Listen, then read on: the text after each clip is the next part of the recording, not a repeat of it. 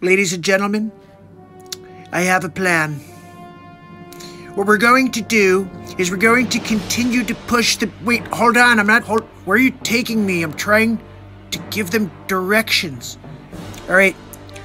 Okay, here's the plan. If we keep telling people that Donald Trump is bad, they'll believe it. Look, number two, how are we making out with that narrative? Amazing, Dr. Evil. Fantastic. Let's move to part two. Get him on the line. Dr. Evil, Vladimir Putin is on the evil monitor. Dr. Evil, he's Vladimir. Oh, hi, Vlad. How are you? Look, with 10 days away from election, if Donald Trump get destroyed in the square.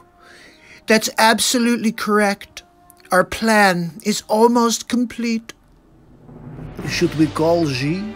We have to find out how vulnerable Joe Biden is. Have speak to President Xi. Perhaps he could tell us if uh, Joe Biden is compromised. What do you think, Dr. Evil? It's a great idea, Vladimir. Let's call President Xi. Oh, President Xi, it's Dr. Evil. 向大家送上新年的 Number two, you couldn't get me the subtitled version? I'm sorry, Dr. Evil. 2019年. I can't even understand him, number two. Dr. Evil, I have my earpiece monitoring. He says he's good for final strike. Honestly, I'm glad to hear that, Vladimir. I was about to send in the murder hornets.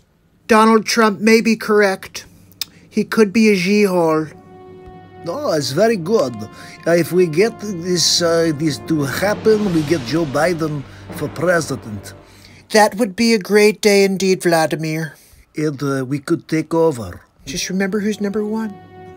It's going to be big. Once we dispose of Donald Trump, we could take over the world. Donald Trump, he had his chance, but we are going to eliminate him.